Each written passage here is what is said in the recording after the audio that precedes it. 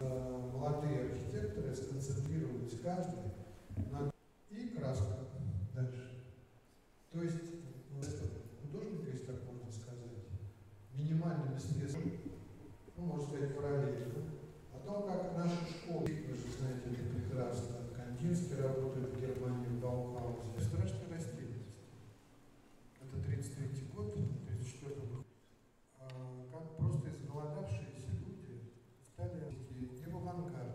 оказывается абсолютно современным.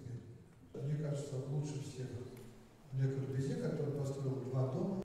Вот в такой галерее жить приятно. Когда же шум, гамма,